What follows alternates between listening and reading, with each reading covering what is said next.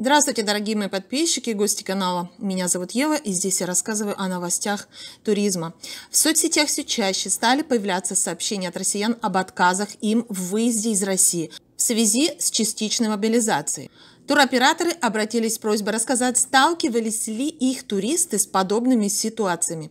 Несмотря на то, что реальных отказов очень мало, туристы паникуют и аннуляции нарастают.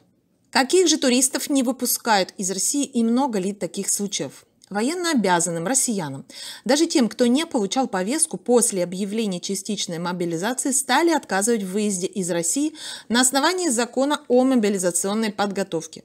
Сообщения с таким содержанием все чаще стали появляться в соцсетях. Сталкиваются с подобным совсем немногие из общего потока выезжающих в эти дни за рубеж. Судя по количеству обращений, и в основном это самостоятельные туристы. Теоретически, если нет повестки, человек не находится в списках на мобилизацию и нет других ограничений на выезд, например, за долги, алименты и прочее, то препятствий на границе никаких быть не должно. Какова же реальная практика?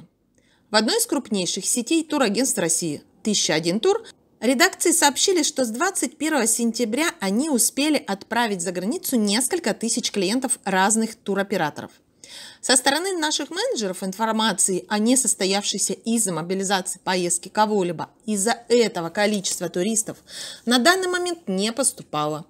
Эту информацию подтверждают и в ряде других сетевых агентств.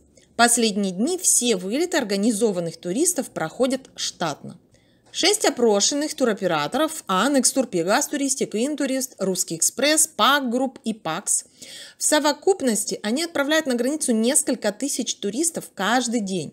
Сообщили, с момента объявления частичной мобилизации никто из их клиентов не лишился запланированного отдыха по причине внезапного разворота пограничниками.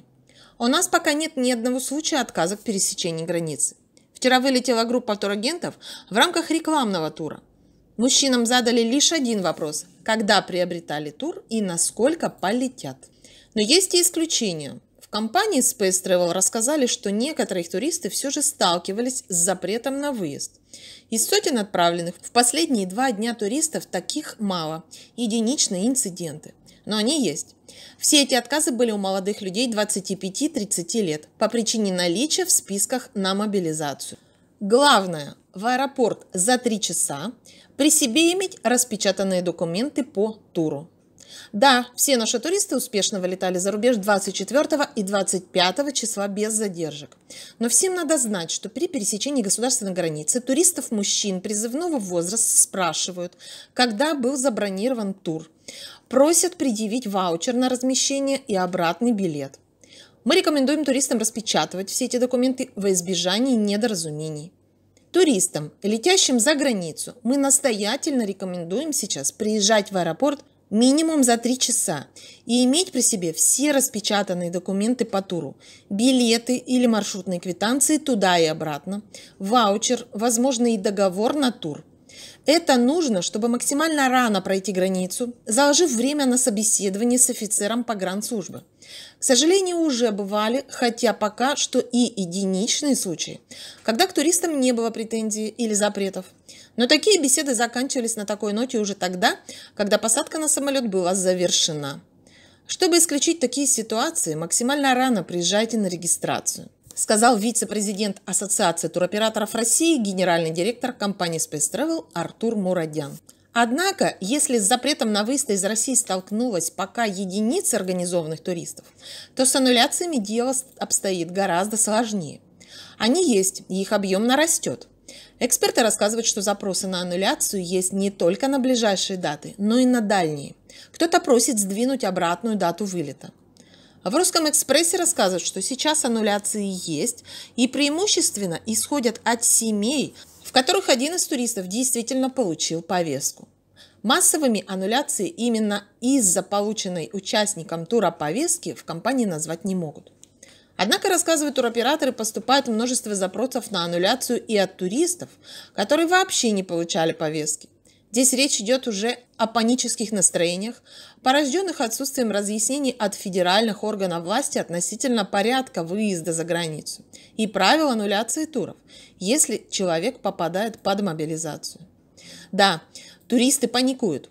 Постоянно звонят и пишут, и даже аннулируют туры, не имея на руках повестки. Например, просто потому, что им сейчас страшно. Были случаи аннуляции даже рекламных туров от женщин. Объясняют это тем, что их мужья или братья могут попасть под мобилизацию, и поэтому они хотят быть рядом. Представители туристической розницы описывают схожую картину с представленной туроператорами. Они характеризуют текущий настрой туристов одним словом «паника». Заявки аннулируются, новых продаж нет. Туристы паникуют, мы не можем их успокоить. Да, если пришла повестка, все понятно. Но многие отказываются от туров, опасаясь закрытия границ. А ведь об этом и речи даже не идет, только слухи в соцсетях. Нам сложно объяснить туристам, которые не попадают под мобилизацию, что им не будут ограничивать выезд. В компании Space Travel совокупный объем таких панических аннуляций и аннуляций туров, в которых участник тура получил повестку, сейчас оценивают в 30% от объема туров, отправленных на неделе до новостей о частичной мобилизации. Многие туристы, даже не получившие повестку, не понимают, что будет с их турами, если что. Мобилизуют родственника, например, закроют границу для мужчин и прочее. Естественно, они боятся потерять деньги. У них нет внятной картины, что будет в том или ином случае.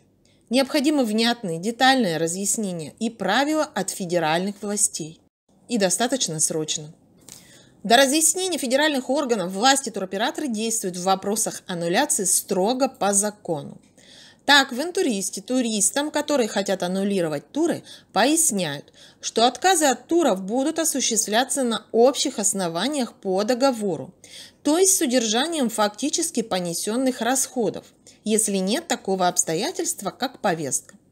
Но даже если повестка есть, возникают сложности. Например, сейчас многие зарубежные авиакомпании и ательеры уже заявили, что будут рассматривать каждый случай такого отказа в индивидуальном порядке с запросом большого пакета документов. И если в случае туристов с повесткой шансы есть, то туристам, которые отказываются из-за тура на всякий случай, без повестки, зарубежные поставщики вряд ли вернут стоимость билета и отеля. Их отказ и будет подтверждением фактически понесенных расходов туроператора. Эксперты призывают туристов не поддаваться паническим настроениям, не закрывать самостоятельно границы и не запрещать себе выезд из России, если на то нет объективных причин, например, реально полученной повестки. Доверяйте только проверенной информации. Вестник Ассоциации туроператоров России который является источником этой новости, всегда держит вас в курсе актуальных событий. Если вам нужны новости со мной, то подписывайтесь, нажимайте на колокольчик. Под видео ссылка на источник информации и на мой второй дачный канал. Спасибо, что меня смотрите, ждите нового ролика. До свидания.